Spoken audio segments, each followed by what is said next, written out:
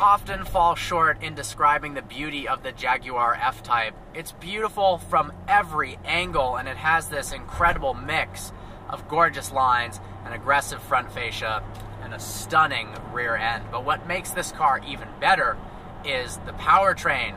Jaguar stuck a 5 liter supercharged V8 which produces 550 horsepower and 502 pound feet of torque. It is relatively heavy for a sports car at 3,900 pounds, but it still rockets the car to 60 miles an hour in 3.6 seconds. A little bit of clarification this is the rear wheel drive model, and from now on, Jaguar has switched to all wheel drive for the brand new F Type Rs. Jaguar now offers a six-speed manual in the F-Type, and while we all love changing gears ourselves, there is something to be said about a brilliant automatic. The ZF 8-speed in this thing is very responsive, offers great upshifts and downshifts, and can be found in a ridiculous range of vehicles, from the Dodge Charger, uh, BMW 5 Series, Range Rover, all the way up to Bentleys and a Rolls-Royce Wraith. Because of the sheer number of gears, 8 speeds, you get a pretty good 16 mpg city and 23 highway, which is impressive because there's a massive supercharged V8 in the front. As great as the Jaguar F-Type R looks and sounds, its driving dynamics are equally as impressive. It features an electronic active rear differential, as well as high-performance brakes, which really put this car on par with some very tough competition like the Porsche 911. If you put it in dynamic mode, the what was once relatively loose steering stiffens up, the dampers get firmer, the throttle response is more intense, the shifts are crisper, and it becomes an outrageous machine to drive. And what I'm most surprised with, because it's 3,900 pounds, is how nimble and tossable this car really is. It does seem to shrink around you and feel very much like a Porsche 911, which I believe Jaguar was targeting. But this brings some things to the table that the 911 doesn't. I think it's better looking. You cannot argue that this doesn't sound better. Yes. And it just has, um, it- feels more like you're getting more for your money for a little bit over a hundred thousand dollars Yep. than you do in a base Carrera or Definitely, Carrera S. Yes. Due to the larger wheels and stiff suspension setup, the car actually rides a little bit on the harsh side, especially on a rough pavement, but it is still very refined.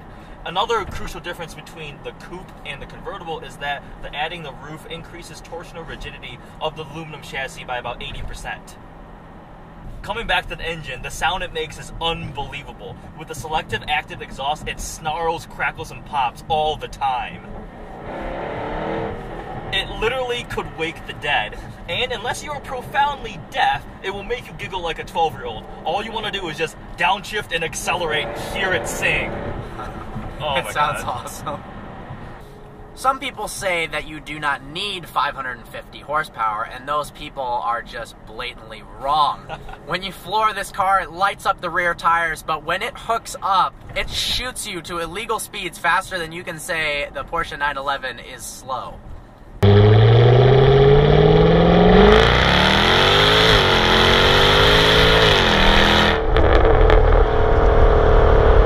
The traction control system in F-Type R is actually really good.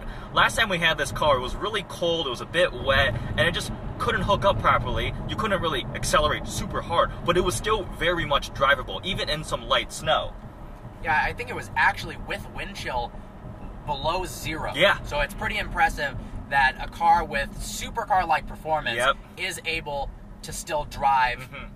Normally and in a sporty fashion, but Yeah. definitely not all out. Yeah. Sometimes people complain about all these electronic aids, but in this instance, with so much power and torque, I like this electronic aid that prevents you from driving it into a tree. Absolutely. The Jaguar F Type R is absolutely seductive on the outside. And it transformed the already stunning convertible and adding the roof into a, one of the most beautiful cars ever made, I Yeah, think. Definitely. And what's surprising is even in black, which normally is a pretty stealthy mm-hmm. color in terms of attraction, Yeah. everyone, when we pass them, seems to look over and get excited about Yeah. the car. This isn't red or some crazy color, but still, people who aren't even into cars or have any idea what it is Yep.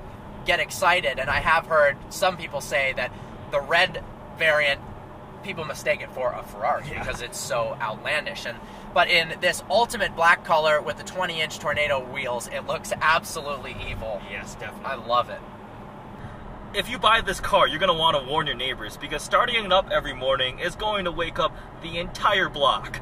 But if you do want to drive it on a daily basis, interior is remarkably civilized. You've got heated seats, a heated steering wheel, a crystal clear 770 watt Meridian sound system, backup camera, backup sensors, everything that would make this car perfect for the daily commute. One thing that we just discussed actually was how easy it is to get in and out of this Yeah. car. A lot of vehicles in the $100,000 and up price range and supercars are very hard to get in and out of. This car, it's just a very fancy normal car in a sense in terms of its practicality. Mhm. Going along with the interior quality, as with all Jaguars of the modern era, they look absolutely beautiful. Yes. The leather feels excellent. I love the contrasted white stitching, and it adds a little bit of flair in the interior that's kind of unusual. We've got this bronze colored start stop button and the paddles as well. And the air conditioning actually it's kind of hard to figure out how it works, but I think when you click the automatic button, the vents actually rise up from the flush dash. So awesome. Speaking of leather, this car has the extended leather pack, which literally covers every single surface of this vehicle in leather. The roof, yep, all of the doors, obviously the seats, the steering wheel, but I just think the coolest part is the, the swaths of leather across the entire roof. Interior space is actually pretty good. I mean, great headroom, good legroom. It feels very airy and light because of this huge panoramic glass roof. Also, storage space in the back is pretty good at 11 cubic feet. We fit all our camera equipment back there, and it's a big step up from the 7 available in the convertible. Absolutely. Overall, the Jaguar F-Type R provides a tremendous, excellent package. It's one of the best sounding cars ever made. It's one of the best looking cars ever made, and I'm very impressed with how this vehicle handles. It's truly sublime and very responsive and predictable. And I think in the $100,000 range for a brand new car, this might be it. This might be the absolute king. Yeah. I mean, you've got the new Aston Vantage V8 GT. Yeah. That's a pretty uh, appealing option, of GTR. course. Uh, GTR, Porsches.